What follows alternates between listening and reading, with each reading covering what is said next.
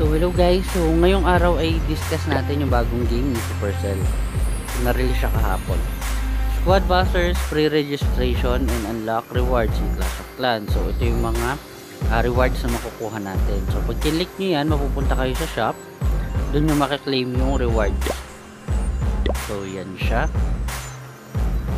And then meron siyang mga million milestones. Makukuha natin yung mga rewards every time na merong mga players na mag-register doon. Pwede natin ma-share ito sa ating mga friends. Basta i-copy link lang natin yung share button dyan sa baba.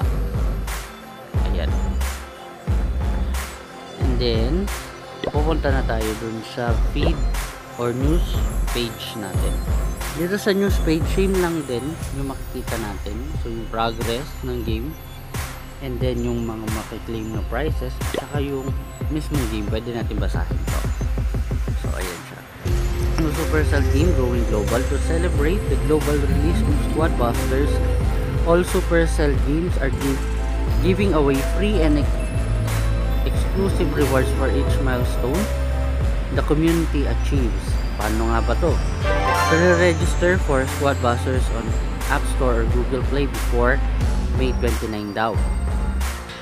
Upon pre-registering, you will get the game right away. It, when it comes globally available on App Store or Google Play. Follow the progress and effort trackers. Don't forget to claim rewards dun sa ating pre-register button. So, ito nga yung Squad Busters. Squad Busters is a game where you can play with your favorite Supercell characters in fun and action-packed matches. Travel through different worlds, collect new characters, and evolve them to take down massive monsters.